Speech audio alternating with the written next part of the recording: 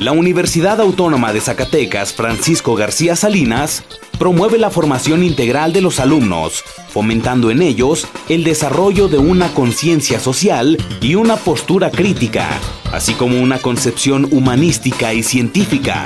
Para ello, se crean ambientes de aprendizaje propicios para la formación, donde se conjugan la didáctica de la profesión y la filosofía de la educación de una visión integral de los objetivos para el pleno desarrollo de las competencias técnicas, epistemológicas y éticas, así como genéricas y específicas propias de cada profesión.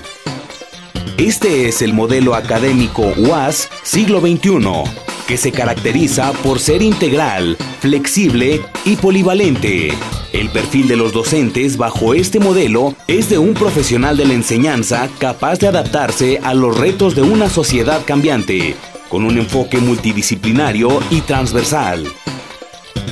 Nuestros docentes e investigadores son actores protagónicos en el cumplimiento de nuestra misión educativa, que permite consolidar los objetivos de calidad que nos son demandados.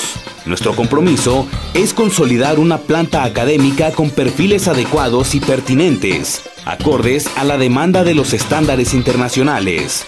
A lo largo del periodo que se informa, se han impulsado diversos programas de formación, actualización y superación, dirigidos a profesores e investigadores.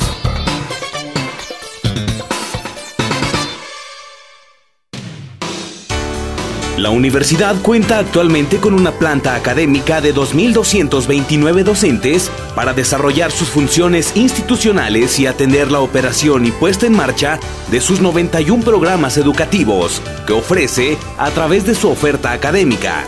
El 52% son profesores de tiempo completo, 10.18% son profesores de medio tiempo.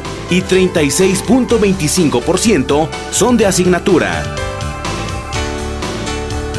Vale la pena destacar que el 97% de los profesores de tiempo completo que imparten docencia en programas educativos de nivel superior poseen estudios de posgrado, 94.31% de especialización, 34.31% maestría y el 59.12% doctorado.